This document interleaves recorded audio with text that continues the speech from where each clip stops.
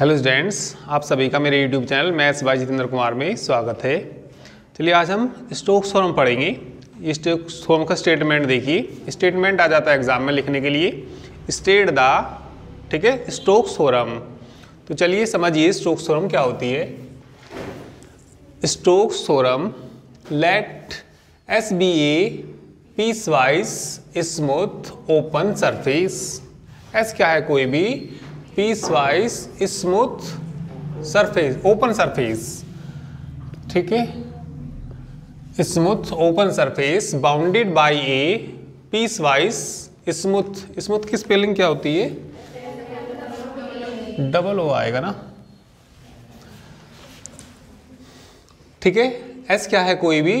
Piecewise smooth open surface bounded by a piecewise smooth simple closed curve C let F vector x y z F vector किसका function है कोई? X Y Z का function है।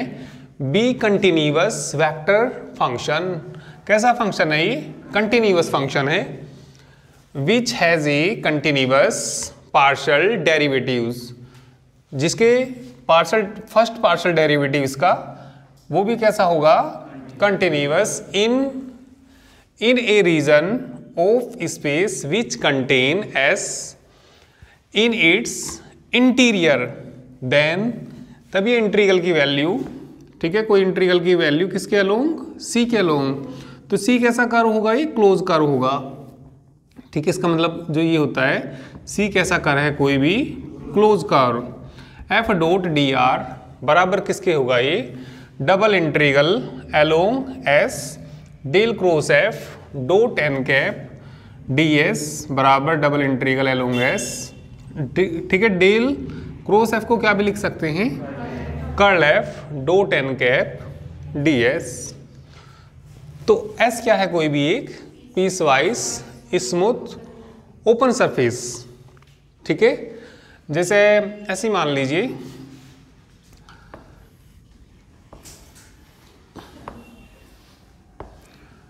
Suppose ये कोई surface है, ठीक है? ये क्या है कोई भी एक सरफेस इसका नाम क्या कह दिया हमने? एस और ये क्या है कोई भी? कोई क्लोज कर्व है। ठीक है, कैसा कर्व है ये कोई भी? सिंपल सी कोई क्लोज कर्व है। इस कर्व को कहेंगे सी या मान लिया कोई सर्कल है इस तरीके से। तो ये क्या है कोई भी? सिंपल क्लोज कर्व जिसका सरफेस कितना? एस तो इन्होंने ये दिया, या मतलब इस तरीके से भी हो सकते हैं, ये पीस वाइज भी हो सकते हैं पीस वाइज यानी कि जैसे मान लीजिए ये बन गया, कोई क्यूब बन गया तो सरफेसिस कैसे होंगे इसके पीस वाइज कि इसको हमने क्या दिया, एस वन, इसको क्या क्या दिया? S two, S three, S four. तो यहाँ पे जो दिया एस जो है कोई piecewise smooth open surface bounded by a piecewise smooth, simple closed curve C. Let F x y z F vector x y z F vector किसका function है कोई? एक्स वाई z का फ़ंक्शन है। Be a continuous vector function which has continuous first partial derivative जो क्या रखता है? First पार्स जिसके फ़र्स्ट पार्शल डेरिवेटिव कैसे हैं? कंटिन्यूस ठीक है? जिसके फ़र्स्ट पार्शल डेरिवेटिव कैसे हैं? Continuous in region of space which contain S जो किसमें कंटेन करता है एस में इन इट्स इंटीरियर इसके अंदर की ओर। देन तब ये इंट्रीगल जो है एलोंग किसके सी की एफ़ डॉट डी आर किसके बराबर होता है? Double integral along S del cross F dot n cap d S बराबर double integral along S curl F vector dot n cap d S के बराबर। ठीक है, जहाँ सी क्या, ठीक है हियर सी इज़ ए ठीक है reserve in the positive direction the direction of C is called positive an observer walking on the boundary of S in this direction with his with his head pointing in the direction of outward normal normal n cap 2s has a surface on the left. देखिए, हमें इसमें, यदि कोई stroke theorem है मतलब इसमें question ये भी आएँगे, या तो एक इंट्रीगल दिया होगा, इसकी वैल्यू किससे निकालिए? स्ट्रोक थ्योरम से निकालिए, या कभी ये भी आ जाएगी, इसको, इस, किसी क्वेश्चन में कि इसको वेरीफाई करिए। जैसे हमने पिछले क्वेश्चनों में किया वेरीफाई करने के लिए दोनों साइड कैसी दिखानी होती है? इक्वल और ये मान लिया इसकी वैल्यू निकालनी तो केवल इसकी वैल्यू एक डबल इंट्रीगल से निकाल देते हैं। ठीक है तो इसका स्टेटमेंट ये याद रखिए। और अभी इस पर ना क्वेश्चन देखिए। ठीक है? चलिए इसको स्टेटमेंट को नोट कर लीजिए। अब इस पर ना क्वेश्चन करेंगे स्टोक सोरम पे। ठीक है, जो एन होता है ये एन क्या होता है ये? नॉर्मल होता है। और ये नॉर्मल किस पे होता है? एस पे। नॉर्मल किस पे होता है? एस पे जैसे मान लिया कोई हमारे पास ये एक्स एक्सिस है और ये कितना है? वाई एक्सिस है और ये कोई हमारे पास एस सरफेस है, ठीक है? सी कोई कर्व है, ये कैसा कर्व है? यहाँ पे कोई क्लोज कर्व है और यहाँ पे जो जेड एक्सिस आएगा, ये जेड एक्सिस आएगा। ये जो, ठीक है? चोक होल्डर है तो ये क्या आएगा? जेड एक्सिस देखिए, ये जो हम लेते हैं इसमें, ये क्या ले, कैसी साइड लेते हैं हम? एंटी क्लॉकवाइज और एन जो होगा इसके, जो नॉर्मल होगा, ठीक है एन क्या होगा? इस सरफेस का नॉर्मल और नॉर्मल भी देखिए, कौन सी डायरेक्शन में होगा? अभी जैसे मान लिया कोई भी बोल्ट ठीक है, कोई भी बोल्ट है, जैसे हम उसको खोलते हैं बोल्ट को तो बोल्ट को खोलेंगे तो किस साइड में खोलते हैं उसको? एंटी क्लॉकवाइज तो एंटी क्लॉकवाइज खोलेंगे तो किधर की ओर आएगा वो? बाहर की ओर आएगा। तो उस बाहर की ओर हमें किसकी वैल्यू लेनी? एन की वैल्यू लेनी। तो जेड एक्सिस तो इस सरफेस के लिए एन कैप का मान कितना आएगा? के कैप जैसे हम पीछे भी क्वेश्चंस करते थे, ठीक है? पीछे देखिए क्या क्वेश्चंस करते थे हम। सपोज़ हमारे पास ये कोई क्यूब मान लिया, चलिए। ठीक है, ये हमने क्या ले लिया? कोई भी एक क्यूब। ये हमारा एक्स एक्सिस है। कोई सा भी मान लीजिए, चलिए ऊपर वाई मान लिया, और ये वाला कौन है हमारा जेड एक्सिस जैसे हम इस सरफेस की बात करें, अब जैसे ये कोई क्यूब है तो हमें ना इसका ये जैसे बाहर वाला फेस दिखाई दे रहा।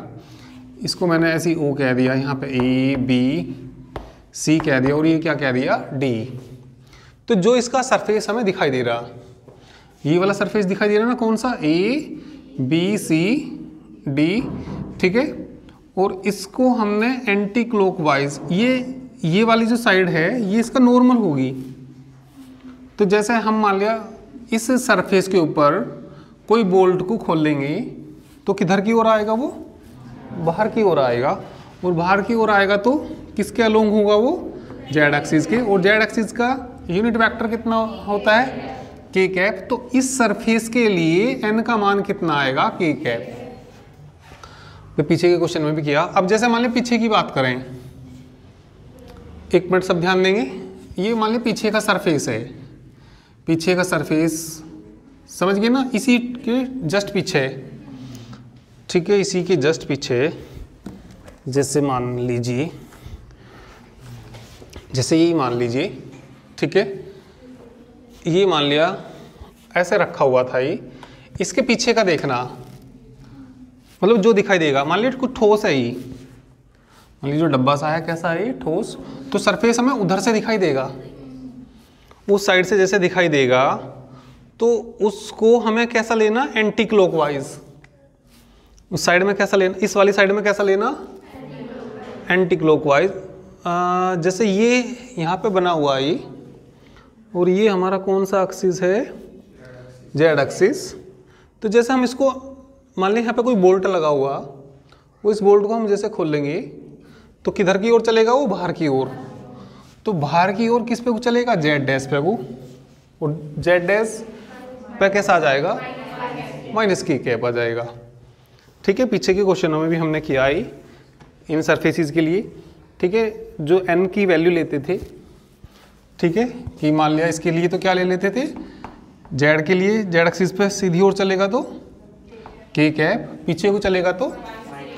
माइनस के कैप ठीक है? तो एन जो होता है नॉर्मल होता है, किस पे नॉर्मल होता है ये? एस पे नॉर्मल होता है। चलिए और क्वेश्चन से समझ आएगा। ठीक है, सभी इसको नोट कर लीजिए। अब इस पे क्वेश्चन करेंगे। और समझ आ जाएगी ये थोरम। चलिए क्वेश्चन देखिए इस पर चलिए एग्जांपल देखिए एक। Verify Stokes theorem for F vector F vector ये दिया, इसके लिए हमें वेरीफाई करनी Stokes theorem round the rectangle bounded by rectangle ठीक है? Rectangle bounded by x equal to plus minus a y बराबर कितना? ज़ीरो और वाई बराबर कितना? बी तो ये हमें रेक्टेंगल बनाना पड़ेगा। तो सबसे पहले लिख लेंगे इसमें स्टोक थोरम देखिए। तो लिखेंगे किससे? सॉल्यूशन देखिए इसका। गिविन देखिए क्या है हमें। गिविन एफ़ वेक्टर दिया।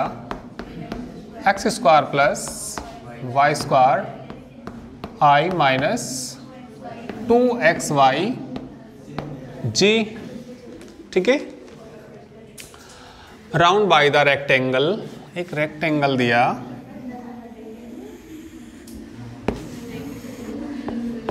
एक्स एक्सिस और ये y axis O x equal to कितना दिया?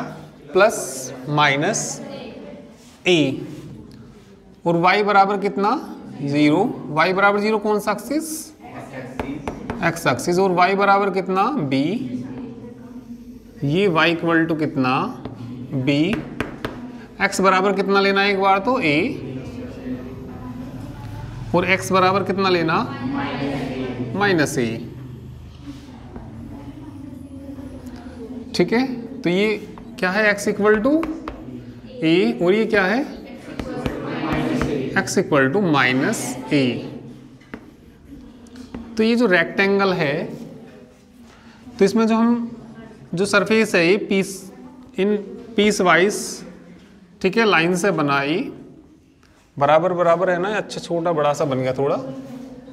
थोड़ा सा सही बनाइए भाई, जितनी ए इधर है, इतनी इधर ना आएगी। छोटी तो ना होगी।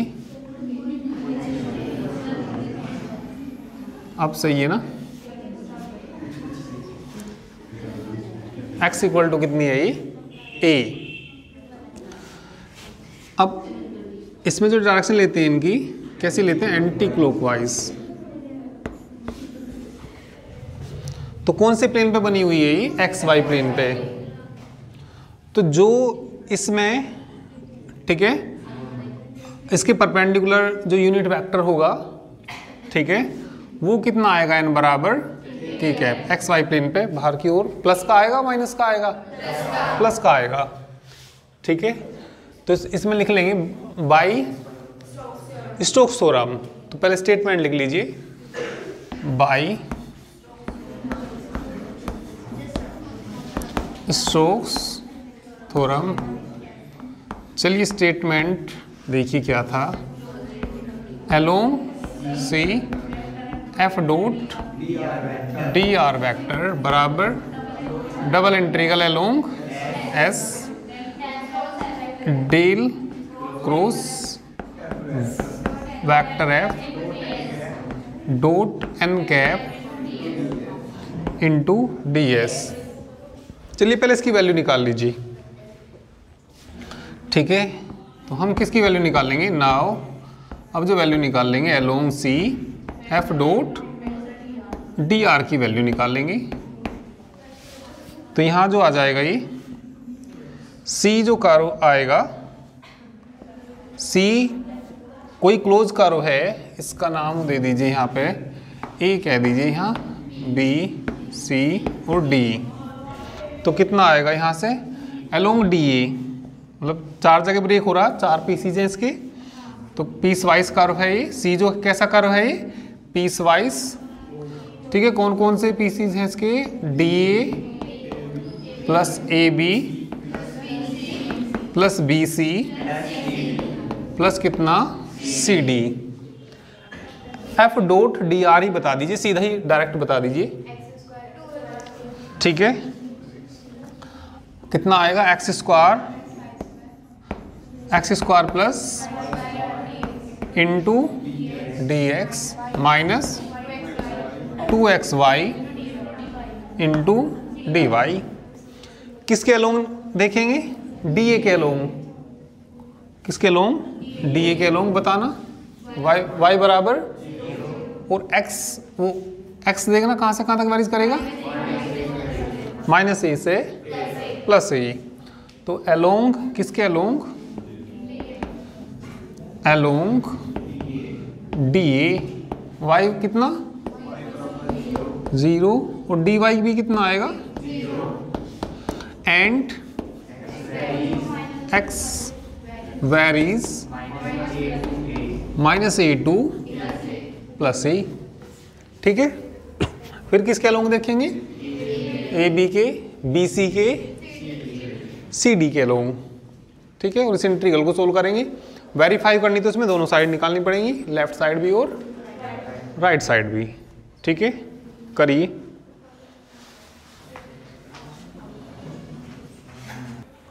चलिए आगे देखिए। ये तो किसके अलोंग देखा हमने? डी ए के। Along A B A B के अलोंग एक्स इक्वल टू कितना? ए डी एक्स बराबर zero and y varies and y varies कितना? Zero to b zero to b किसके अलोंग? बी सी के along. B सी। Y बराबर कितना? B, है ना? वाई बराबर बी। डी वाई बराबर zero. And x varies. And x varies बोलिए। बी से लेके कहाँ तक? अच्छा किसके अलोंग देख रहे?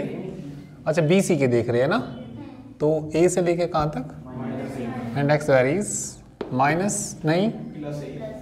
Plus a to minus a किसके अलोंग अब? अलोंग सी डी एक्स बराबर? माइनस ए डी एक्स बराबर zero and y varies y varies b to zero. अब देखिए, किसकी वैल्यू निकाल रहे हैं हम? इस इंट्रीगल की वैल्यू फाइंड कर रहे हैं ना? डोट कितना? डी आर वैक्टर चलिए ध्यान दीजिए, इसको चार जगह ब्रेक करना। तो पहली लिमिट बताना कहाँ से, कहाँ तक है? माइनस ए से प्लस ए माइनस ए से प्लस ए वाई की जगह क्या रखना? ज़ीरो डी वाई भी क्या हो जाएगा? ज़ीरो। वाई की जगह क्या रखना? ज़ीरो। बताइए, बताना क्या बचेगा? X square into d x अब ज़रा इसके लिए और देख लीजिए। प्लस लिमिट बोलिए। Zero to d d x की जगह क्या रखना? ज़ीरो। तो डी एक्स की जगह ज़ीरो रखेंगे तो ये सारा क्या हो जाएगा? ज़ीरो। और एक्स बराबर क्या रखना? ए क्या बचा? माइनस के two a y. D y. अब किसके अलोंग देखना? B C. चारों हाँ बी सी के अलोंग देखो। लिमिट बता दीजिए। A to minus a. D y तो क्या हो जाएगा? ज़ीरो। वाई बराबर कितना? बी। तो बताना कितना आ जाएगा?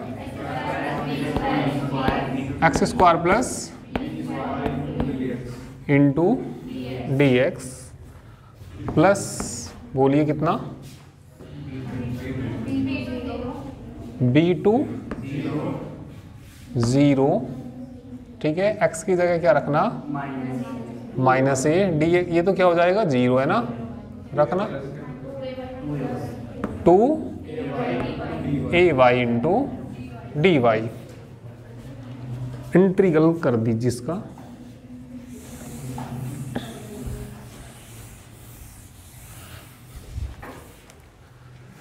चलिए इसका कर दीजिए।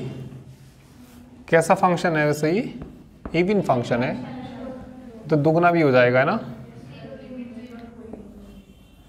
तो इसका करना एक्स क्यूब बाई दुगना तो कर दिया तो यहाँ क्या आ जाएगा? ज़ीरो से ये किसके रस टू ए तो बाहर आ गया।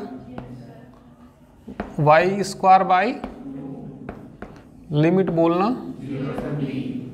ज़ीरो से बी इसका कर दीजिए। एक्स का करना। X cube by three plus b square x limit बोलिए। A to minus a last में ये टू ए तो बाहर आ गया ना। टू ए बाहर आ गया वाई स्क्वायर बाई लिमिट बोलिए बी टू ज़ीरो तो कितना बच जाएगा यहाँ से तो ये? बोलिए two two by three a cube दो से दो कट गया? माइनस ए बी स्क्वायर आगे बोलिए। माइनस का आएगा ये तो। Minus a cube upon three minus a b square minus a cube upon three minus a b square. दो से दो कट जाएगा। प्लस ज़ीरो हो जाएगा और माइनस ए बी स्क्वायर चलिए जोड़िए इनको। ठीक है? करिए जल्दी से।